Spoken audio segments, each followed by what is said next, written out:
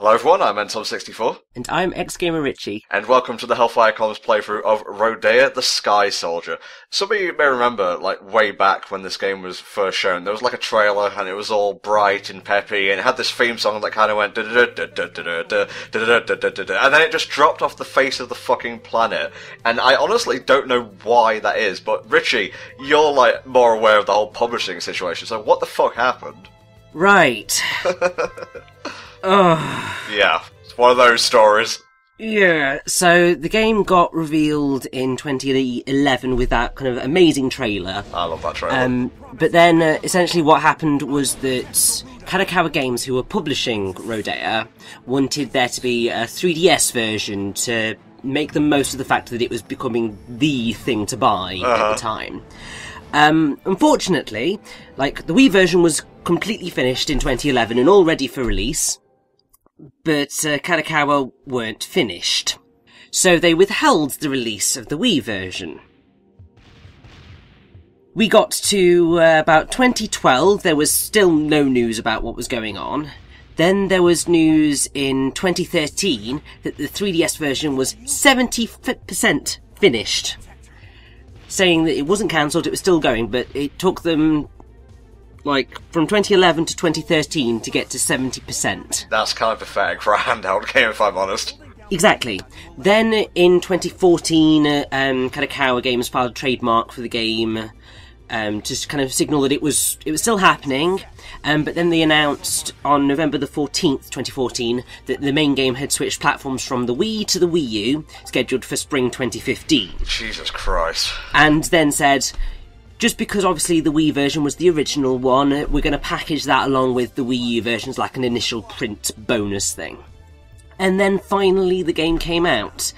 But as you can see by the rather pathetic reception it received critically and commercially and just how the buzz around it was just non-existent this game has been severely screwed over Man, it's almost like postponing things by three to four years fucks over your initial plan. exactly oh, Jesus Christ. And actually, this playthrough is a rather unique kind of experience for us because uh, for the first time, I have not actually played the proper game, but I have played a version of the game. Richie, you've played uh, the Wii and Wii U versions, right?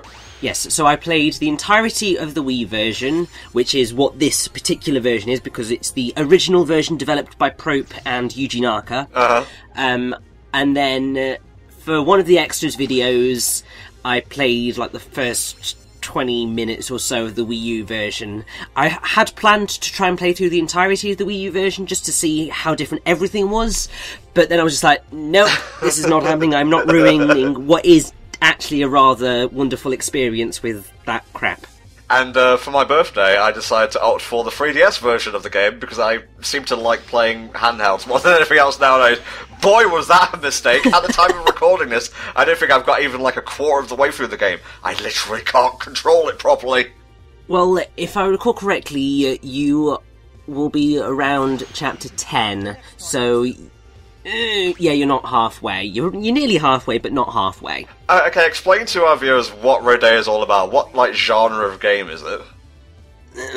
So, uh, technically, the genre is action and adventure. It's sort of a platformer, it's not really a platformer. It's more an aerial maneuvering game. Yeah, it's like a um a light gun kind of game, like a rail shooter, but you have to control the rail yourself.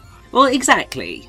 And for what it's worth, I think that what they did here and the gameplay mechanics that they came up with for the Wii version are actually really fun. Because essentially the way it works is that you point the pointer, obviously, Yeah. at the screen, and then you uh, just shake the Wiimote to get Rodea to move. Generally, he moves in a parabolic arc, and depending on which way you shake the Wiimote depends on which way he's going to arc.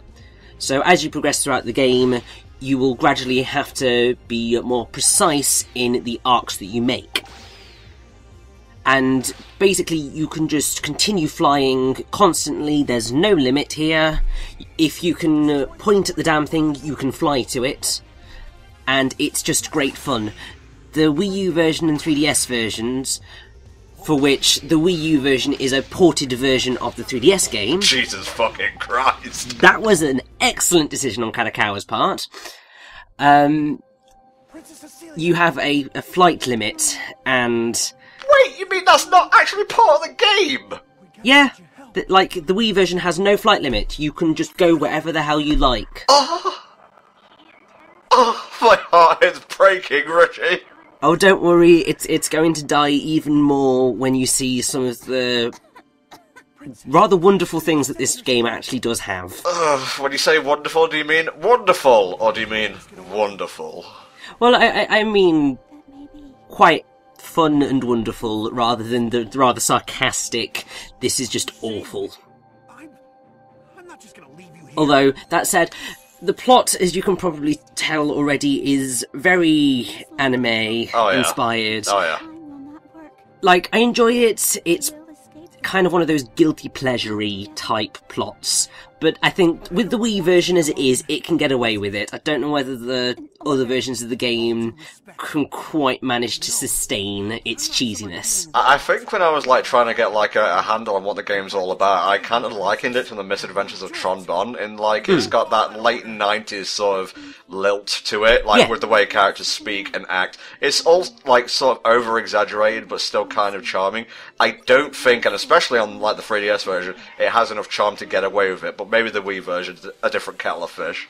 I mean, I think that's exactly the case. The Wii version, gameplay-wise, is incredibly charming, and a major factor of like the plot and character elements that I think makes it work is that they don't talk nearly as much. Ah, yes.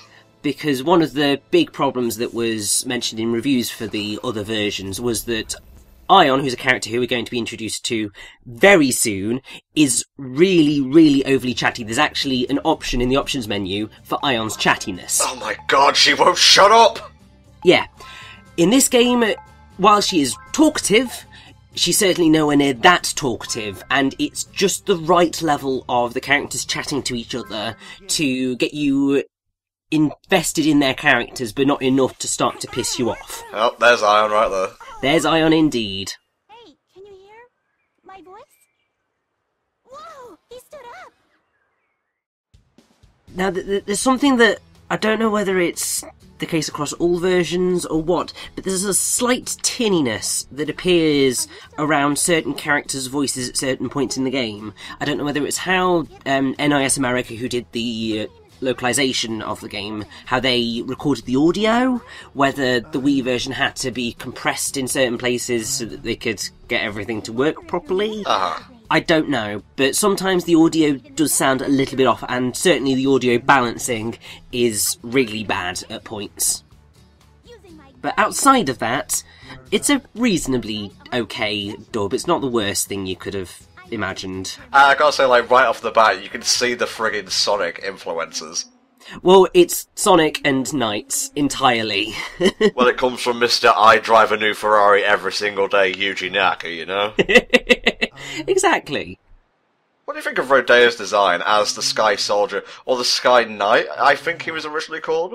Uh, I think it has always been the Sky Soldier. Hmm, don't know where I got Knight from then. Oh, I don't know. It, it, I mean, it works close enough.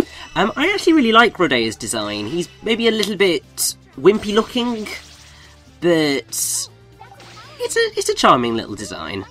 What, it's the tail specifically for balance and whatnot? Uh, yes. So this is a major difference between the two versions of the game.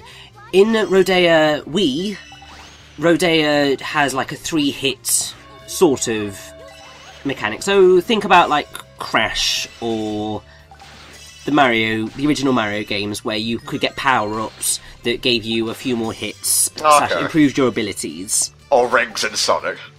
Yeah, and if you get hit once, then you go down a form to the point where if you get to the weakest state and you get hit, then you die. Okay, yeah.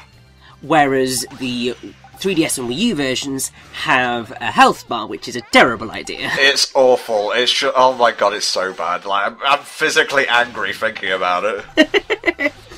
Now, here's another thing that's different between the two games the bonus rooms. So in the Wii version, you need to collect a certain number of gravitons, which are these little yellow globule things. And once you have collected enough, you can go through these doors. You're not flying very well here, Richard. I, I know, I kind of ended up flying to the other side of that wall and they're just like, right, I need to get up and over. But because of the way the flight works, you can do that. Sometimes it's a little bit finicky, but it's a simple process. It just depends how smoothly you can get out. I, I gotta say, when you get into a good rhythm, it feels great, but again, on like the Wii U or 3DS versions, thanks to that flight meter, it's just gonna drain super quickly and it feels awful. Exactly. Whereas this, it's so free flow that it's joyful. Yeah, it's the joy of flight. Exactly. I mean, you could see the beginnings of this desire for this type of game with NiGHTS. Yeah, definitely. And I don't know whether Yuji Naka had any involvement in Journey of Dreams, but that game introduced it's called the Mind Sight mechanic, where you pointed the Wiimote and NiGHTS flew in that direction. This is like the next lo- next logical step Uh huh.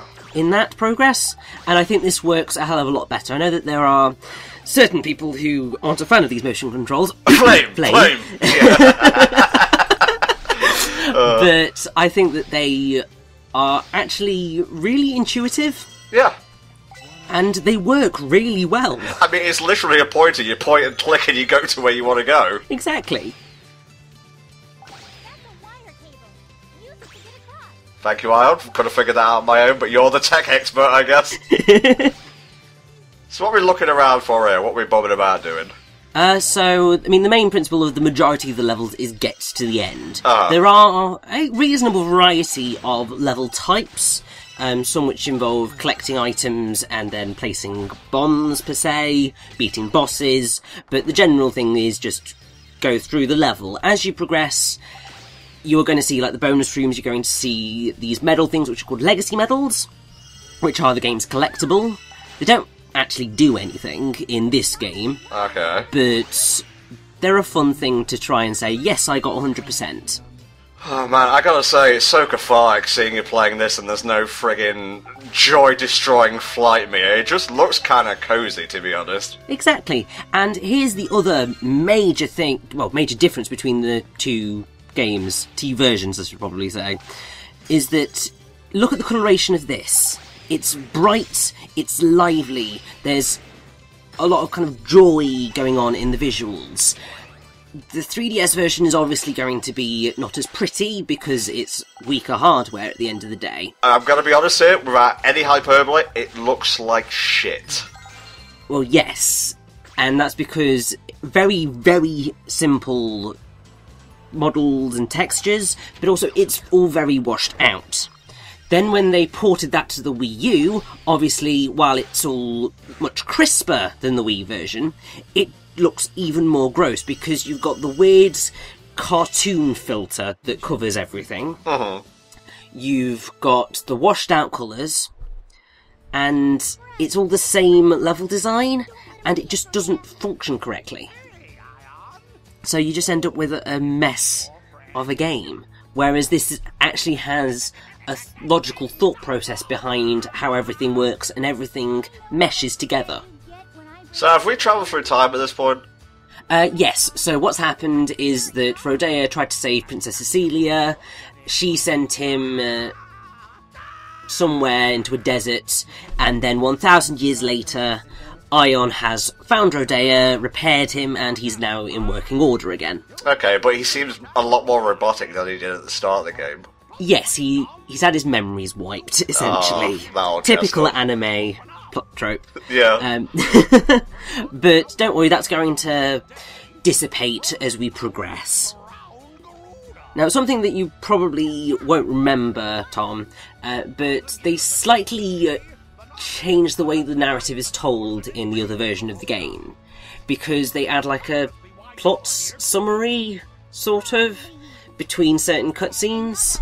So you have an entire explanation of who Princess Cecilia is and the enemies that we're going to be facing and the worlds and it's kind of just like really, you, you don't need to treat us like idiots.